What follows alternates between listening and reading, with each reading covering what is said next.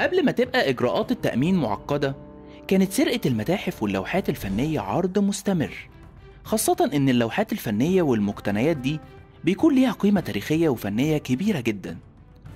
ومن أبرز سرقات المتاحف سرقة متحف مونتريال اللي بتعتبر أكبر سرقة فنية في التاريخ الكندي واللي حصلت قبل 50 سنة وتحديدا بعد منتصف ليل 4 سبتمبر 1972 بعد وصول رجل مقنع إلى المتحف وتسلق إلى السطح عن طريق شجرة قريبة.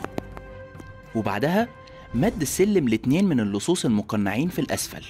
وبعدها دخلوا التلاتة المتحف عن طريق الهبوط بالحبل. وبمجرد دخولهم قيدوا حراس الأمن وكمموا أفواههم تحت تهديد السلاح.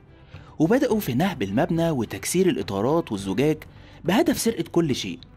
لكن بعد 30 دقيقة من الاقتحام أطلق أحد الرجال جهاز الإنذار وده أجبر العصابة على الخروج من الباب الجانبي بكل ما يمكنهم حمله. وكانت الحصيلة 39 قطعة معظمهم من المجوهرات والتماثيل و18 لوحة منها لوحات منسوبة ليه جوستاف كوربيه ويوجين ديلاكرو ويان ديفيز ديهيم وتوماس جينز برو وبيتر بول روبنز. لكن كانت القطعة الأكثر قيمة بحوزة اللصوص هي Landscape with Cottages وده عمل بينسب إلى رامبراند سيد العصر الذهبي الهولندي وبلغت قيمة السرقات 2 مليون دولار تقريبا.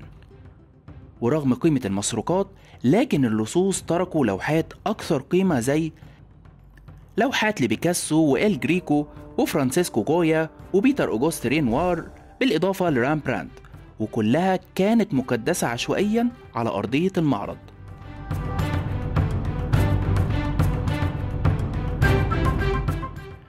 أما سرقة متحف ستوكهولم فكانت في سنة 2000 وفيها داهم ثلاث رجال مسلحين بمسدسات ومدافع رشاشة المتحف الوطني في ستوكهولم بالسويد وقدروا يهربوا بلوحات لرينوار ورامبراند في زورق سريع.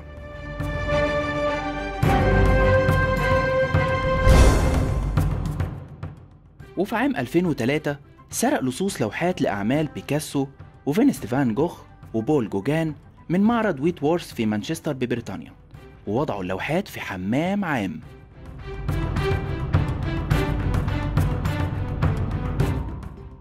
وفي سنة 1990 اقتحم اتنين من اللصوص المتنكرين في زي الشرطة متحف إيزابيلا ستيوارد جاردنر في مدينة بوسطن الأمريكية وسرقوا 13 لوحة ومن ضمنها Chez Tortoni لإدوار مانيه و Concert ليوهانس فيرمير.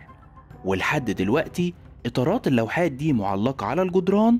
وهي فارغة.